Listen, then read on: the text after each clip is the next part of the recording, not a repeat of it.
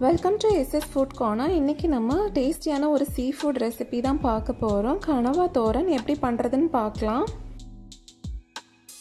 கனவா தோரன் கனவா மசாலா பண்ணுறதுக்கு தேவையான பொருட்கள் கனவா மீன் எட்டு சின்ன வெங்காயம் எட்டு திருவிய தேங்காய் ஒரு டேபிள் ஸ்பூன் கருவேப்பிலை மஞ்சள் பொடி ரெண்டு டீஸ்பூன் வத்தல் பொடி அரை டேபிள் ஸ்பூன் சோம்பு ரெண்டு டீஸ்பூன் பூண்டு நாலு பல் உப்பு தேவையான அளவு எண்ணெய் ஒரு டேபிள் ஸ்பூன் ஃபர்ஸ்ட்டில் கனவா மீனை எப்படி க்ளீன் பண்ணுறதுன்னு பார்க்கலாம். எனக்கு க்ளீன் பண்ணுறதுக்கு அம்மா தான் ஹெல்ப் பண்ணாங்க.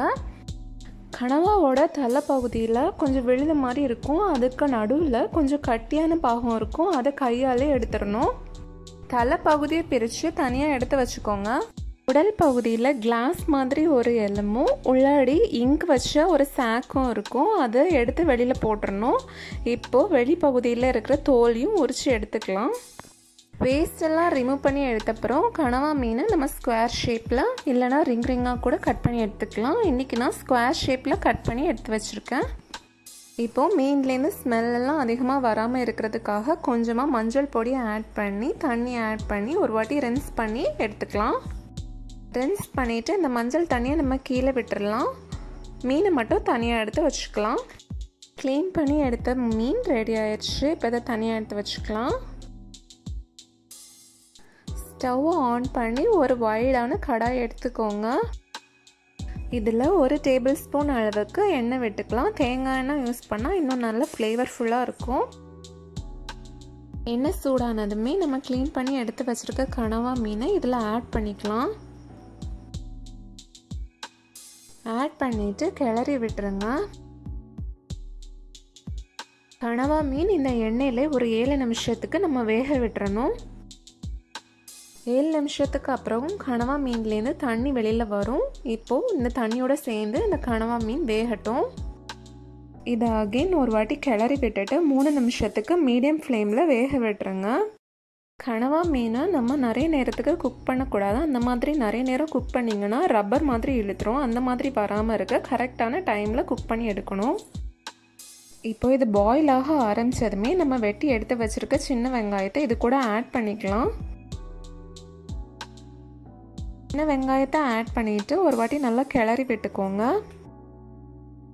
மசாலாவுக்கு தேவையான மஞ்சள் பொடி.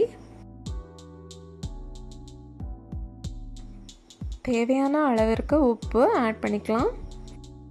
உப்பு மஞ்சள் பொடி ஆட் பண்ணிவிட்டு கிளறி விட்டுக்கலாம்.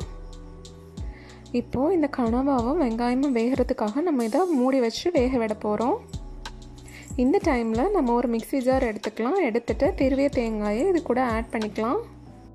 ஃப்ரெஷ்ஷாக திருவின தேங்காவாக யூஸ் பண்ணிக்கோங்க. அப்போ டேஸ்ட் நல்லாயிருக்கும் தேங்காய் ஆட் பண்ணியாச்சு. இப்போ இது கூடவே பூண்டை ஆட் பண்ணிக்கலாம்.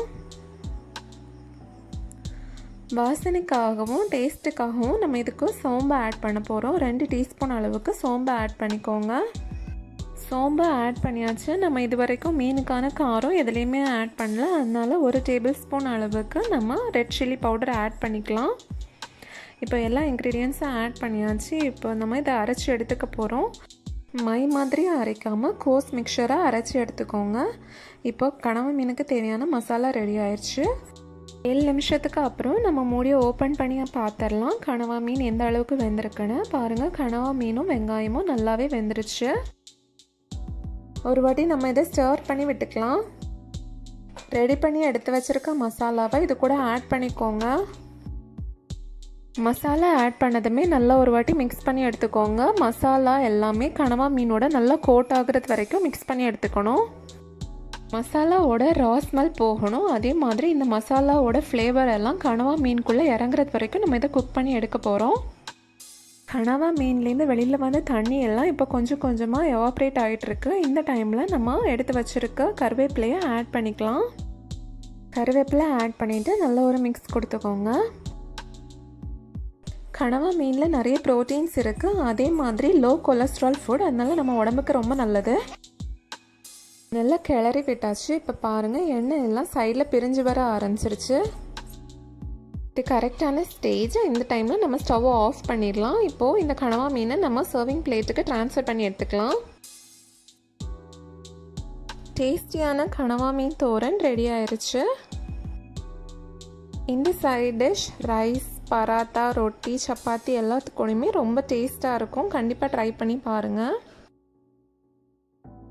ஃபைனலாக நம்ம கருவேப்பிலை வச்சு இதை கார்னிஷ் பண்ணிக்கலாம். இந்த கனவா மீன் தோரன் ரெசிபி உங்களுக்கு பிடிச்சிருக்குன்னா லைக் பண்ணுங்கள் சப்ஸ்கிரைப் பண்ணுங்கள் பெல் பட்டனை ப்ரெஸ் பண்ணுங்கள் உங்கள் ஃப்ரெண்ட்ஸ் ரிலேட்டிவ்ஸ் எல்லாருக்கும் ஷேர் பண்ணி என்ஜாய் பண்ணுங்கள் தேங்க்ஸ் ஃபார் வாட்சிங்